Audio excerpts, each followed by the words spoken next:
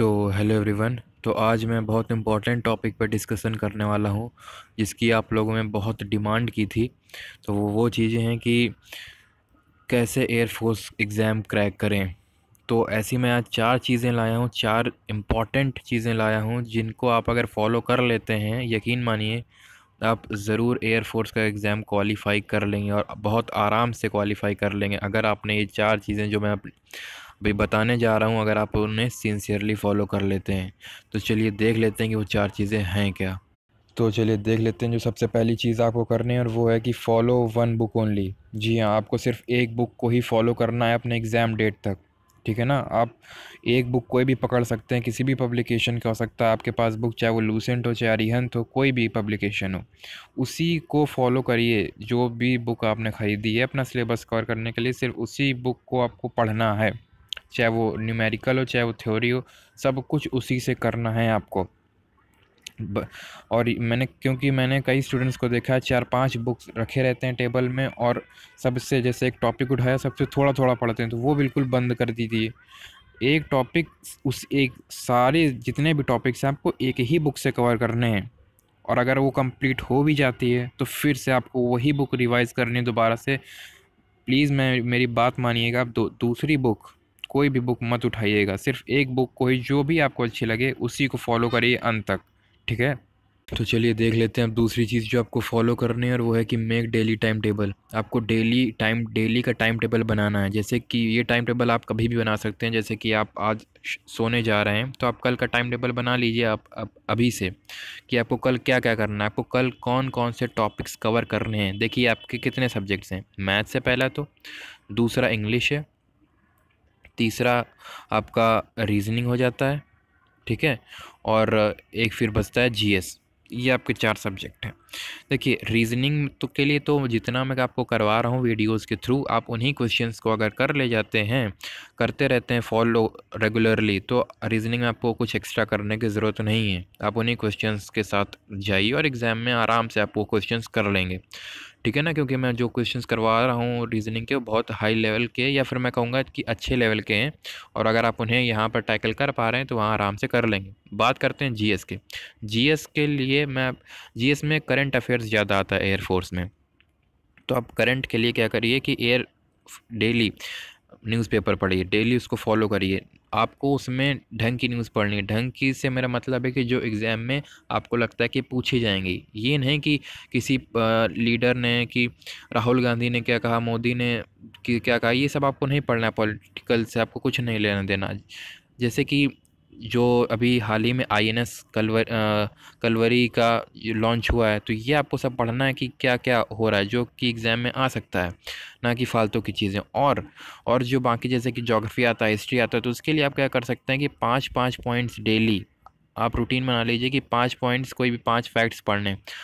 ये पाँच फैट्स के लिए अगर आप बोलेंगे भी तो मैं आपको रोज़ देता रहूँगा, जिससे आपका थोड़ा बोझ कम हो जाए तो आपको जीएस से भी कुछ लेना देना नहीं रहेगा फिर। अगर आप बोलेंगे तो मैं करवा दूँगा रोज़ डेली पाँच। तो आप ही देख लीजिए, महीने भर में आपके डेढ़ सौ आ जाएँगे, और डेढ़ सौ में आप, क्योंकि देखिए, बहुत बड़ा सिलेबस है जीएस में कोई फिक्स सिलेबस नहीं है। आप एकदम, आप समझ सकते हैं कि समुद्र है सिलेबस में। तो अगर आप बोलेंगे तो मैं आपको जीएसबी करवा दूँगा। अब बात आती है मैथ और इंग्लिश की तो मैथ और इंग्लिश के लिए आपको डेली रूटीन में आना है कि मेरे को मैथ्स में जैसे कि फॉर एग्जांपल मेरे को इंटीग्रेशन करना है। तो आपको इंटीग्रेशन का बिल्कुल पूरा उसी दिन ख़त्म कर देना है। आप पूरे न्यूमेरिकल्स लगाने, साथ ही साथ आपको उसमें जितने भी अप्लाई भी करने उन फॉर्मूलों को और क्वेश्चंस लगाने हैं। देखिए, जब तक आप एप्लीकेशन नहीं देखेंगे, सिर्फ़ थ्योरी थ्योरी पढ़ लेंगे तो आपका वहाँ क्वेश्चंस आपसे नहीं होंगे।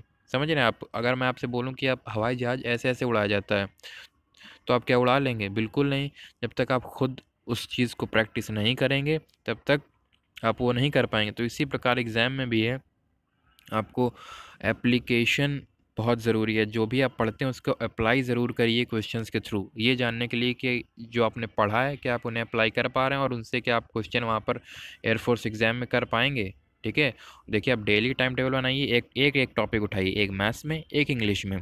उनको ढंग से पढ़िए अप्लाई करके देखिए, नहीं आ रहा, फिर से पढ़िए। कोई डाउट है, वो आप, वो टॉपिक आपको समझ में ही नहीं आ रहा है तो आप मुझसे पूछ सकते हैं, मुझसे आप बता सकते हैं तो मैं इस पर वीडियो बना दूँगा। तो उसके लिए आपको क्या करना है कि मेरे फेसबुक जो पेज है, इसी वाले, इसी वजह से मैंने फेसबुक पेज बना लिया, क्योंकि बहुत लोग नंबर मांग रहे थे अपने पर्सनल डाउट्स पूछने के लिए भी तो मैंने फेसबुक पेज भी बना लिया है तो उसका लिंक आपको डिस्क्रिप्शन में मिल जाएगा। तो वहाँ से आप मुझसे जो भी टॉपिक आपको नहीं आ रहा है तो वो बता सकते हैं तो उसमें मैं वीडियो बना के बिल्कुल पूरा क्लियर कर दूँगा आपको, फिर उसमें कोई दिक्कत नहीं होगी। और अगर आपको कोई पर्सनल डाउट्स पूछने हैं, कोई आपको दिक्कत आ रही है पढ़ाई में तो वो आप मुझसे वहाँ पर पूछ सकते हैं, क्योंकि यहाँ पर मेरे लिए कॉमेंट चेक करना बहुत मुश्किल हो जाता है। और और आपको यही चीज़ इंग्लिश में भी आपको फॉलो करनी है, ठीक है? और अब आ जाती है चौथी और आखिरी और सबसे इंपॉर्टेंट चीज़, वो है कि make notes and revise them daily आप जो भी पढ़ रहे हैं, आपको देखिए दो चीज़ों के नोट्स बनाने हैं। आप जो डेली पढ़ रहे हैं डेली ठीक है? और एक जो मॉक टेस्ट में, और नोट्स में होना क्या चाहिए? ये भी मैं बता दूँ आपको नोट्स आपकी दो चीज़ें होनी चाहिए। एक तो जो इंपॉर्टेंट है वो और दूसरा जिसको आप, आपको लगता है कि आप भूल जाएँगे और आपके लिए वो कठिन है। यही दो चीज़ आप रखिएगा नोट्स में। ये नहीं कि पूरी किताब ही आपने छाप दी। सिर्फ़ दो चीज़ नोट्स को आपको क्या रखना है? शॉर्ट रखना है ताकि जब आपका एग्ज़ाम हो तो उसके एक दो हफ़्ते पहले आप उन्हें आसानी से रिवाइज़ कर सकें। आपको सिर्फ़ तभी रिवाइज़ नहीं करना है एक दो हफ़्ते पहले ही। आपको डेली रिवाइज़ करना है। जैसे कि आपने कोई भी आज टॉपिक पढ़ा जैसे मान लीजिए आपने कंपाउंड इंटरेस्ट पढ़ा, चक्रवर्ती ब्याज। तो आपने नोट्स में वो रख लिया आपने। तो नोट्स में आपने क्या लिखा होगा? फार्मूला लिखे होंगे तो आपको डेली फॉर्मूले रिवाइज करने हैं।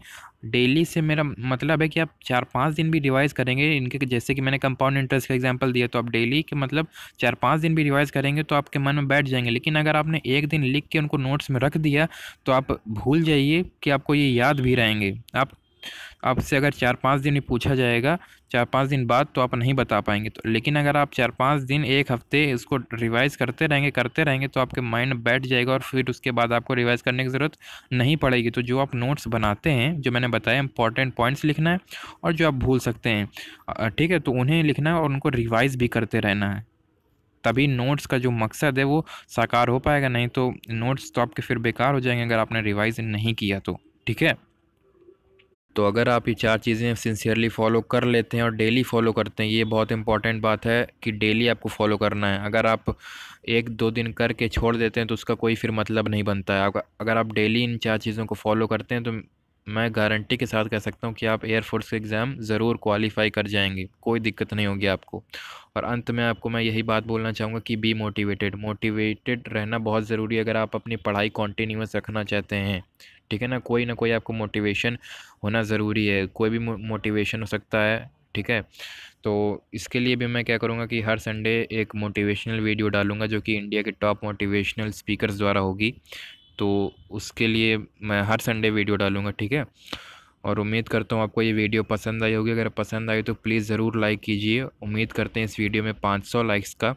और कोई डाउट है तो कमेंट सेक्शन में पूछिए और वीडियो को शेयर ज़रूर कीजिए अपने फ्रेंड्स के साथ जो कि एयरफोर्स की तैयारी कर रहे हैं। तो ज़रूर शेयर कीजिए उनके साथ ये वीडियो। और अगर चैनल सब्सक्राइब नहीं किया तो सब्सक्राइब कर लीजिए।